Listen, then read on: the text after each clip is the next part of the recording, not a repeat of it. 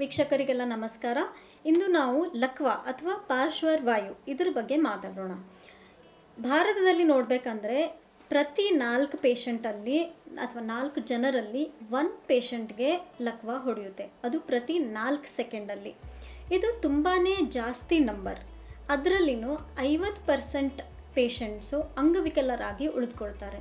ಇನ್ನೊಂದು ಇಪ್ಪತ್ತೈದು ಪೇಶ್ percent patients ಲಕ್ವಾ ಹೊಡೆದು ಮೂರು ನಾಲ್ಕು ತಿಂಗಳಲ್ಲೇ ಜೀವ ತ್ಯಾಗ ಮಾಡಿಬಿಡ್ತಾರೆ. ಮತ್ತು ಅನೇಕ ಲಕ್ವಾ ಪೇಷಂಟ್ಸಲ್ಲಿ ಖಿನ್ನತೆ ಉಂಟಾಗುತ್ತದೆ. ಇದು ಕಾಮನೆಸ್ಟ್ ಕಾಸ್ ಆಫ್ ಡಿಸಬಿಲಿಟಿ ಅಂತ ನಾವು ಜನರಲಿ ಅಂತೀವಿ. ನಾವು ಲಕ್ವಾ ಅಥವಾ ಪಾರ್ಶ್ವವಾಯು ಯಾಕೆ ಹೊಡೆಯುತ್ತೆ? ಎರಡು ಪ್ರಕಾರದ ಲಕ್ವಾ ಇದೆ.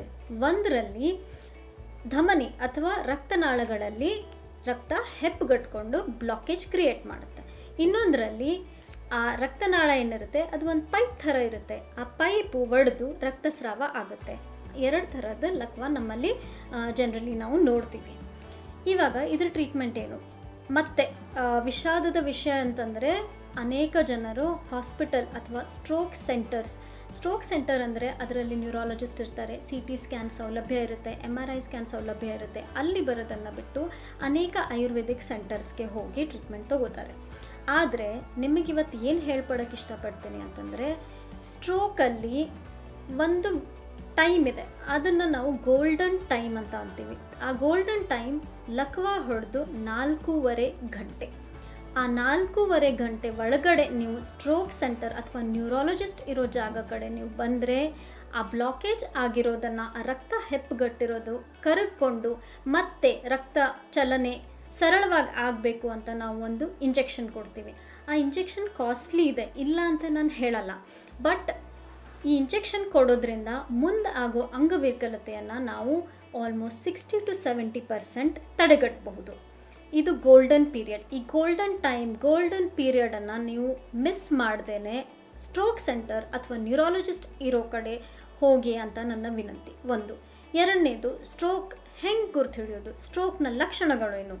ಒಂದು, ನೀವು ಸಾಮಾನ್ಯವಾಗಿ ನೋಡಿರ್ತೀರ, ಪಾರ್ಸಿ ಹೊಡೆದಿದೆ ಅಂತ ಪೇಷಂಟ್ಸ್ ಬರ್ತಾರೆ. ಅರ್ಧ ಭಾಗ ಅಂದರೆ ಒಂದು ಕ, ಒಂದು ಕಡೆ ಇರೋ ಕೈ, ಕಾಲು, ಎರಡು ಶಕ್ತಿ ಅದರನ್ನು ಕಳ್ಕೊಂಡು ಅದನ್ನು ಪ್ಯಾರಾಲಿಸಿಸ್ ಥರ ಆಗಿಬಿಟ್ಟಿರುತ್ತೆ.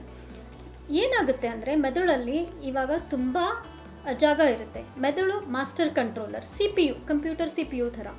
ಬೇರೆ ಬೇರೆ ಜಾಗಕ್ಕೆ ಬೇರೆ ಬೇರೆ ಫಂಕ್ಷನ್ಸ್ನ ದೇವರು ಕೊಟ್ಟಿರ್ತಾನೆ. ಯಾವ ಭಾಗಕ್ಕೆ ರಕ್ತ ಚಲನೆ ಕಡಿಮೆ ಆಗುತ್ತೋ ರಕ್ತ ಪೂರೈಕೆ ಕಡಿಮೆ ಆಗುತ್ತೋ ಆ ಬ್ಲಾಕೇಜ್ ಆಗಿ ಆ ಭಾಗದ ಫಂಕ್ಷನ್ ಕಡಿಮೆ ಆಗಿಬಿಡುತ್ತೆ. ಮಾತಾಡೋ ಜಾಗದಲ್ಲಿ ರಕ್ತಸ್ರಾವ ಕಡಿಮೆ ಆದರೆ ಮಾತಲ್ಲಿ ತೊದು ಬರುತ್ತೆ. ಕೈ, ಕಾಲು ಇರೋ ಜಾಗದಲ್ಲಿ ರಕ್ತ ಪೂರೈಕೆ ಕಡಿಮೆ ಆದರೆ ಕೈ, ಕಾಲಿನ ಶಕ್ತಿ ಹೊರಟು ಹೋಗುತ್ತೆ ನಮ್ಮ ಬ್ರೈನಿನ ಹಿಂದಿನ ಭಾಗ ವಿಷನ್ ಅಂದರೆ ನಮ್ಮ ದೃಷ್ಟಿ ಮತ್ತು ಬ್ಯಾಲೆನ್ಸ್ ನಡೆಯುವಾಗ ನಾವು ಬ್ಯಾಲೆನ್ಸ್ ಆಗಿ ನಡ್ಕೊಂಡು ಹೋಗ್ತಾ ಇರ್ತೀವಿ.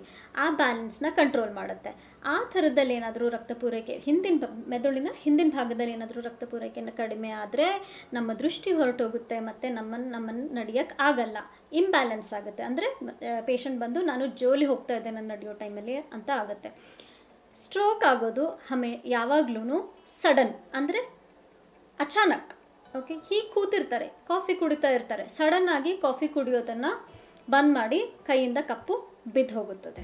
Okay so that is sudden stroke is always sudden ಅದನ್ನ ನೆನ್ಕೊಳ್ಳಿ ಯಾವುದೇ ಸಡನ್ ಆಗಿ ಏನೇ ಸಿಂಪ್ಟಮ್ ಬಂದ್ರೂ ಸ್ಟ್ರೋಕ್ನ ನಾವು ಯಾವತ್ತೂ ರೂಲ್ ಔಟ್ ಮಾಡಲೇಬೇಕು. ಓಕೆ ಎರಡು ಥಿಂಗ್ ಒಂದು ನೀವು ನಿಮ್ಮ ಅಕ್ಕಪಕ್ಕ ಈ ಥರ ಸ್ಟ್ರೋಕ್ನ ಪೇಷಂಟ್ಸ್ ನೀವು ನೋಡಿದರೆ ಅವರಿಗೆ ಹೇಳಿ ಸಿ ಟಿ ಸ್ಕ್ಯಾನ್ ಮತ್ತು ನ್ಯೂರಾಲಜಿಸ್ಟ್ ಇರೋ ಸೆಂಟರ್ ಹತ್ತಿರ ನಾಲ್ಕೂವರೆ ಗಂಟೆ ಒಳಗಡೆ ನೀವು ಹೋಗಿ.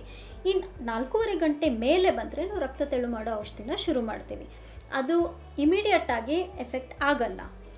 ಕೈ ಕಾಲು ಪ್ಯಾರಲಿಸಿಸ್ ಆದರೆ ಸುಮಾರು ಒಂದೂವರೆಯಿಂದ ಎರಡು ವರ್ಷ ಆದರೂ ಮಿನಿಮಮ್ ಪೀರಿಯಡ್ ಬೇಕು. ಅವ್ರಿಗೆ ಕೈ ಕಾಲಲ್ಲಿ ಎನರ್ಜಿ ವಾಪಸ್ ಬರೋಕ್ಕೆ ಆ ಟೈಮಲ್ಲಿ ನೀವು ಎಕ್ಸಸೈಸ್ ರಕ್ತ ತೆಳು ಮಾಡೋ ಔಷಧಿ, ಪ್ರಾಪರ್ ನ್ಯೂಟ್ರಿಷನ್ ಇದೆಲ್ಲ ನೀವು ಚಾಲ್ತಿಯಲ್ಲಿ ಇಡಬೇಕು. ಅದನ್ನು ನಾವು ರಿಹ್ಯಾಬಿಲಿಟೇಷನ್ ಅಂತ ಅಂತೀವಿ.